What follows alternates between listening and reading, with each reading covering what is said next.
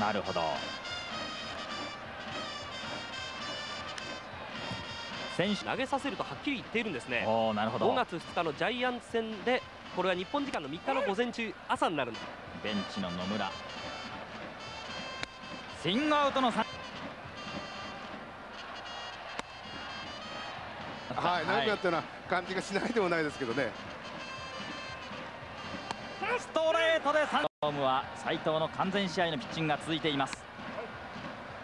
コースにも行ってますし何ていうんでしょうかねあの自分の気持ちがボールに伝わっているというんでしょうか。ですから多少甘くなりましてもいますよ。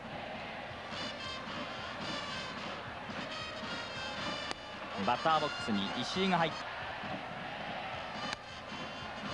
最近後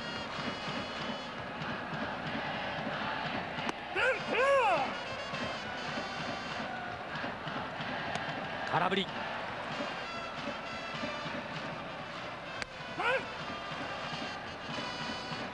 ストレート打ったピッチャー返し。取った。ゲッツ。これでああいうボールを投げたしまということですね。ーなるほど。投げ。こ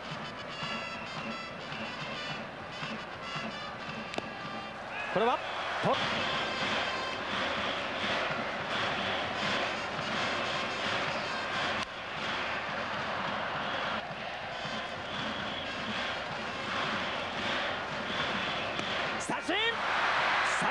通算300試合。